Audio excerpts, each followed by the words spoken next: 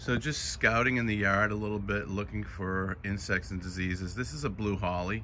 So blue hollies will have what's called camellia scales. So you see that black.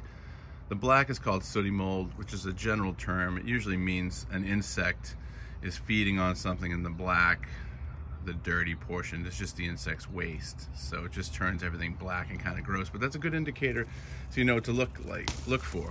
And on the back side of the leaves, you'll see these little dots just above my fingertips. And those are how the insect overwinters. They're like little teeny tiny little oval peach things. And in the summertime when they get going, they'll turn white, look like talcum powder on the back of the leaf.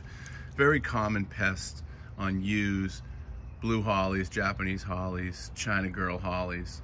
Um, and it's easily controlled with one or horticultural oil spray, which just actually suffocates them. So look for this gross black but usually if you have hollies or yews, Japanese hollies, you'll have it.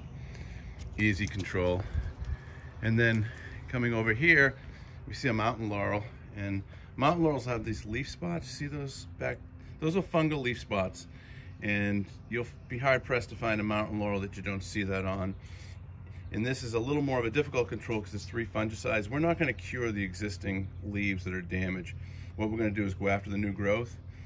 And as the new growth emerges, we treat it with a fungicide every seven days. So when the leaf just starts to emerge about the size of your fingernail, and then about halfway out, and then when it's fully off, hardened off, the idea of the fungicides, three treatments just keeps the epidermis of the leaf from being able to be penetrated by that, that fungal leaf spot and it does really help with the aesthetics, but more importantly, the health of the plant because these are last year's leaves and these will drop prematurely. So usually evergreens will hold, you know, two years worth of growth and they'll drop their third year growth, whether it's needles or broadleaf evergreens. That's how evergreens work. So if they're dropping one set of leaves prematurely because they've been compromised by this fungus, that does affect the health of the plant as well.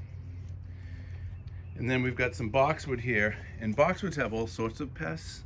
And what we have a little bit here, as you can see closely, this little white, is that's called psyllid.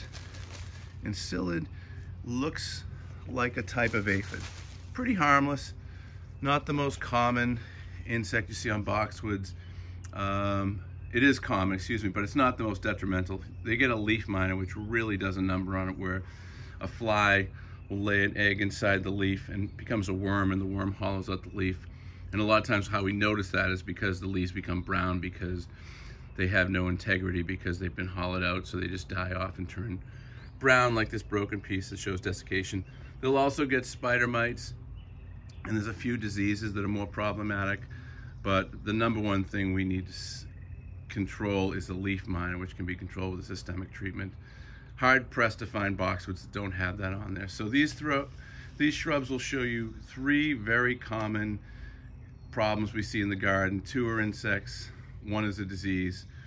With treatment, you can keep the plants healthy, but just something to look at and look for when you're out in the garden spotting plants.